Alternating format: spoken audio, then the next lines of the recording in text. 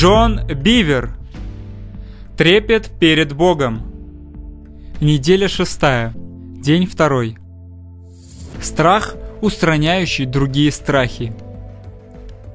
Мы живем в мире, полном бед и страха. Более того, Иисус говорит нам, что ситуация будет лишь усугубляться. Его описание того, что нас ждет впереди, отрезвляет. Люди будут издыхать от страха и ожидания бедствий, грядущих на Вселенную, ибо силы небесные поколеблются. Луки, 21 глава, стих 26. Страхи и тревоги отнимают надежду, мир и покой, оставляя только смятение, тяжесть на сердце и постоянные мучения. В чем же панацея? Господь серьезно предупредил меня не думать, как другие думают. Он сказал, «Не называйте заговором все то, что называет заговором этот народ. Не бойтесь того, чего они боятся. Господа сил, Его чтите свято, Его одного бойтесь, перед Ним одним трепещите. Он сохранит вас».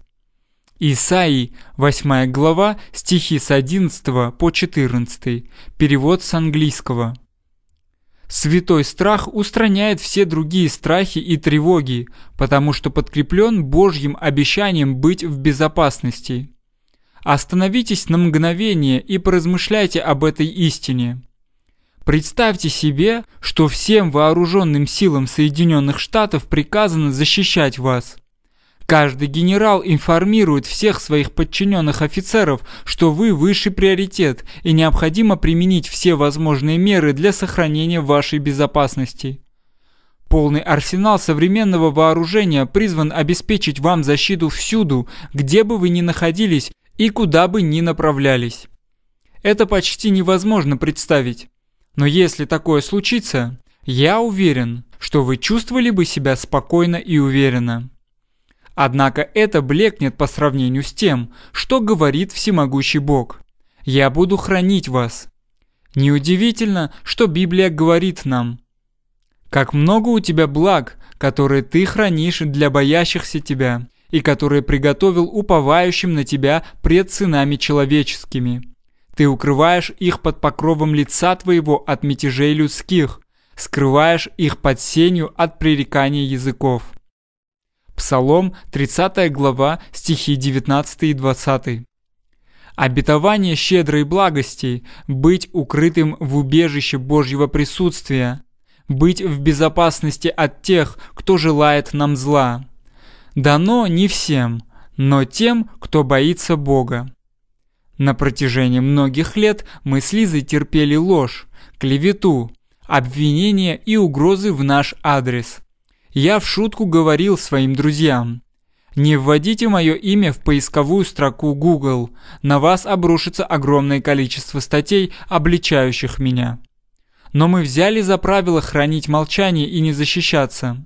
Вместо этого мы передали все нападки тому, кого боимся, и стали свидетелями его постоянной защиты. Было нелегко. Случалось, что я буквально складывал ладони чашечкой и поднимал их вверх в молитвенном жесте в знак того, что передаю обвинения и угрозы Богу. Я кричал «Отец, я отдаю это в Твои руки, пожалуйста, защити нас». Он никогда нас не подводил.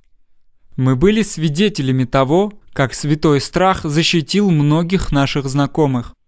Несколько лет назад я проповедовал в своем родном городе перед аудиторией 1500 человек. На служении многие обменяли свои страхи на страх Господень. На следующий вечер, когда мать с дочерью, которые были среди тех, кто откликнулся и освободился от страха, вернулись домой из магазина, их встретили трое мужчин, вооруженных ножами и пистолетами. Они сурово приказали им войти в дом вероятнее всего, намеревались обокрасть, изнасиловать и, может быть, даже убить обеих женщин. Позже мать сообщила, «Если бы не предыдущий вечер, я бы замерла от страха, потеряла дар речи и подчинилась бы их требованиям. Но, По ее словам, она проигнорировала их приказ войти в дом и тут же начала вслух молиться, чтобы Иисус спас их. Уверенность, сила и покой во мне возрастали, пока я взывала к Богу. Мужчин начало трясти, и они твердо приказали ей прекратить молиться. В конце концов, их терпение лопнуло, и они в ярости стали кричать «Хватит! Хватит молиться!» Они не были готовы к тому, чтобы встретить таких уверенных женщин. Бандиты пришли в замешательство, и пока они были сосредоточены на матери, дочь успела проскользнуть в дом и позвать на помощь. Когда мужчины вдруг осознали, что она исчезла, они бросились бежать. В том же году я служил в Хьюстоне, штат Техас. Еще одна молодая женщина обменяла свои страхи на святой страх. Через неделю после богослужения, когда она вышла из торгового центра и села в машину, она обнаружила на заднем сиденье человека с ножом. Он сурово приказал ей ехать вперед. Но она не испугалась, а сразу стала, не останавливаясь, взывать к Иисусу. Они ехали несколько часов. Мужчина все это время требовал, чтобы она замолчала, но она отказывалась. Наконец, он сказал «Останови машину», а когда она припарковалась, открыл заднюю дверь и скрылся. Однажды царь сирийский разгневался на пророка Елисея и послал за ним свою армию. Слуга Елисея первым увидел солдат, лошадей и колесницы. Он жутко испугался. Елисей сказал ему, «Не бойся, потому что тех, которые с нами, больше, нежели тех, которые с ними». И молился Елисей и говорил, «Господи, открой ему глаза, чтобы он увидел». Четвертое царство, шестая глава, стихи 16 и 17. Господь открыл слуге глаза, и он увидел на горе множество ангельских коней и огненных колесниц. Иисус часто встречал толпы людей, которые собирали камни, чтобы бросить в него. Однажды толпа пыталась сбросить его со скалы, но каждый раз, когда возникала угроза его жизни, он просто уходил невредимым. Луки, 4 глава, стих 29.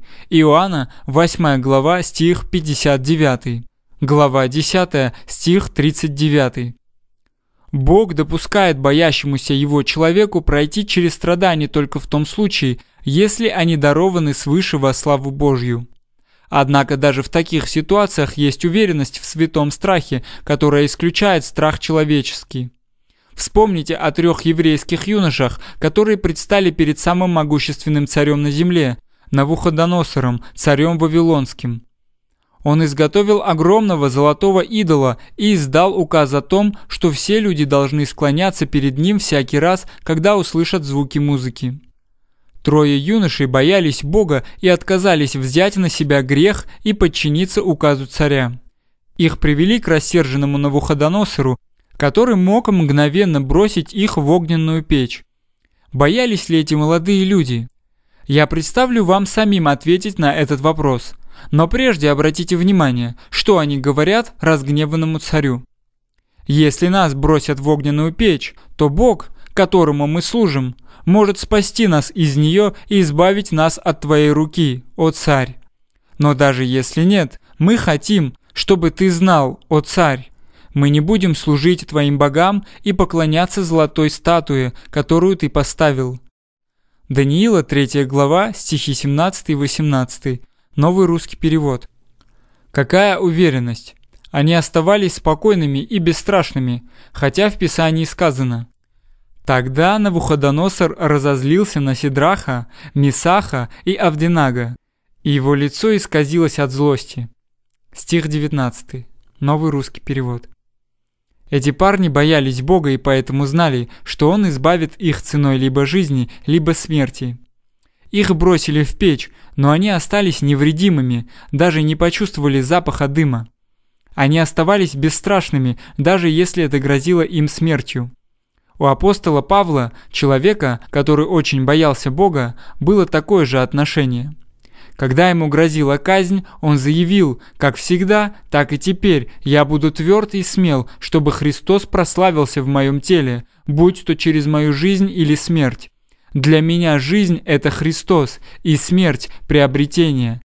Филиппийцам, 1 глава, стихи 20 и 21, новый русский перевод.